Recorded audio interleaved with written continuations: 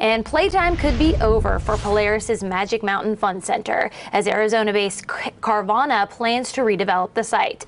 The used car sales company plans to allocate about five acres for its next vending machine site. Carvana's vending machines allow users to insert tokens and retrieve cars they've ordered from the online company.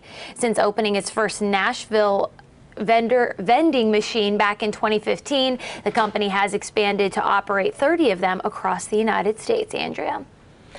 It's sad to see, you know, the Magic Mountain go, but the car thing's kind of cool. It is cool. I think I would probably buy a car from one of those just because, I don't know, I. It, phone stores and then buying a car. It just makes me anxious.